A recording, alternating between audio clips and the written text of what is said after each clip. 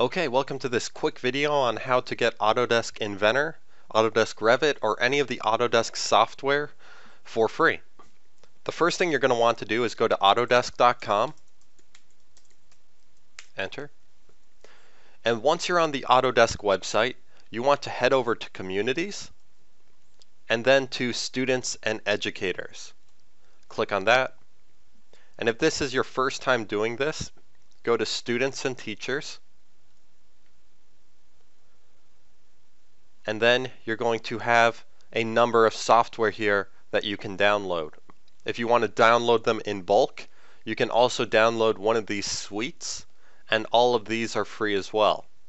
However, I need Inventor Professional right now, or Revit, so I'm going to click on Inventor Professional. I'm going to log in using my account details. So I'm going to pause the video real quick. And you'll be greeted with this page.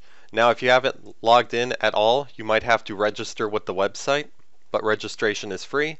And then you're going to have access to the latest software. And you just need to specify your language, your operating system, and it will provide you with a user key which is good for three years and it will also provide you with a means to download it.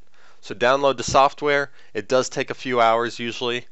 However, once it's done, you'll have the access to the software for three years, and it's a pretty great way to getting some awesome software for free. So that concludes this video on how to get Autodesk products for free. Till later, peace.